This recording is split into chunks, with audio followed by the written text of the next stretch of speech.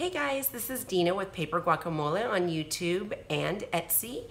And I am really excited to finally get a video up, a craft video up.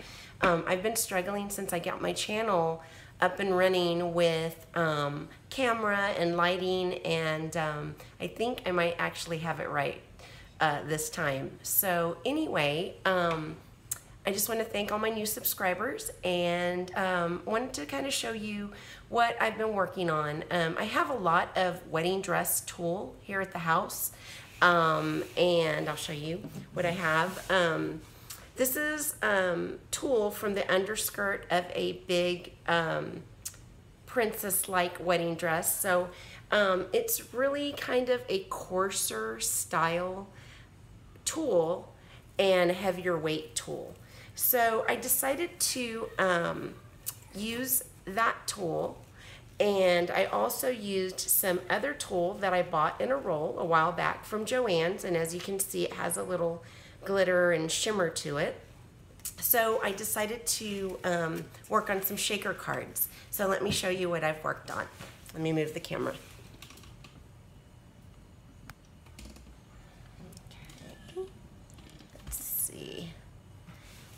Let me move this out of the way.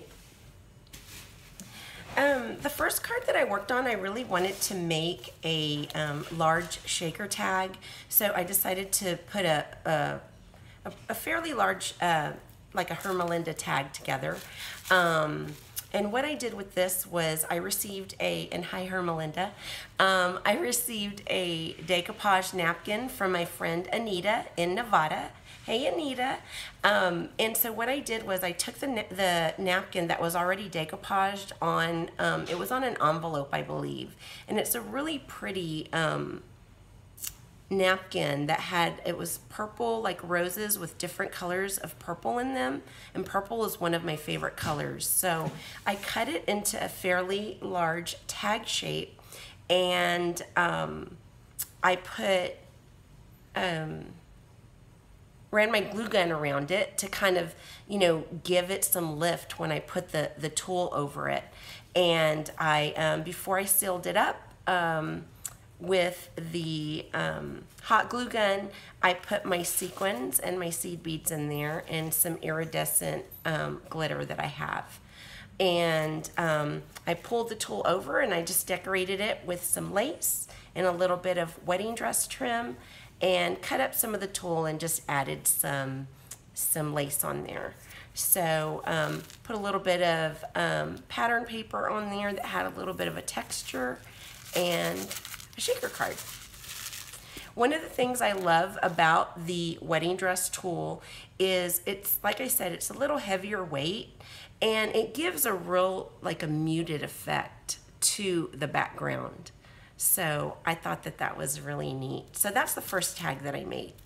And you could use this, you know, in a journal, obviously, and that's what I plan on, on using it for, is, you know, kind of sticking it in a journal in a tuck spot or a pocket or maybe, you know, slide it in where there's a belly band. Um, so I um, was really excited to put this together.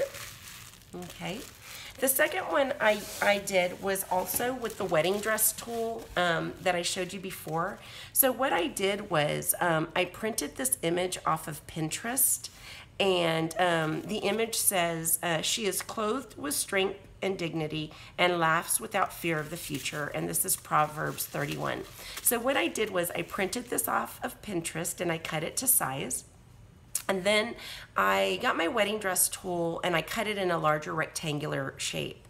And I tried to coffee dye it, but it really didn't absorb a lot of the color. So I had some uh, gold shimmer spray paint.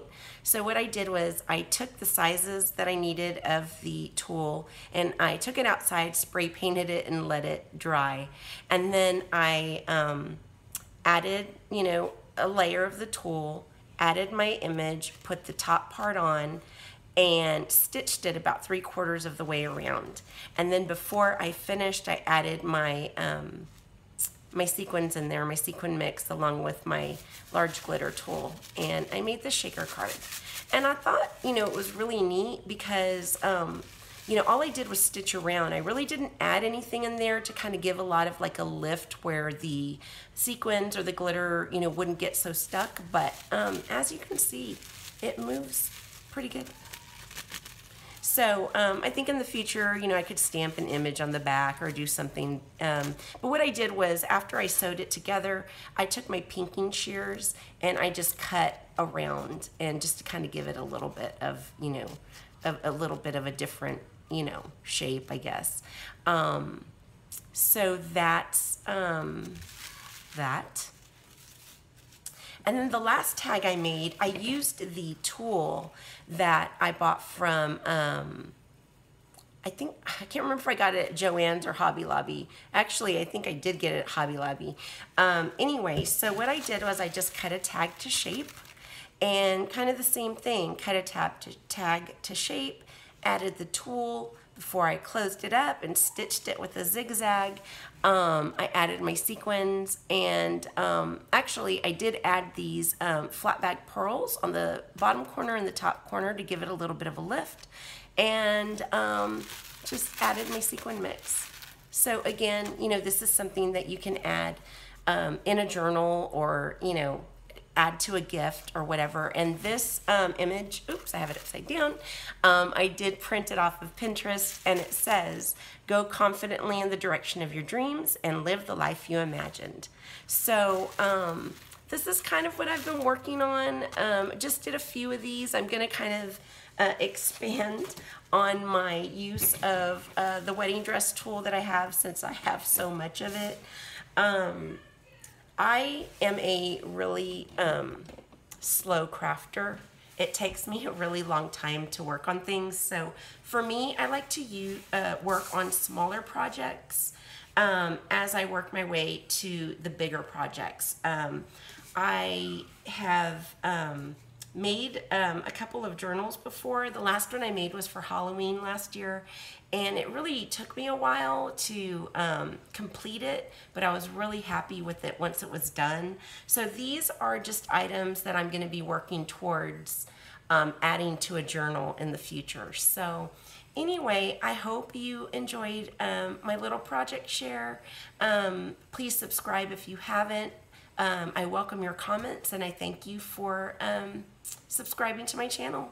Have a great evening, morning, afternoon. Um, I will see you later. Bye.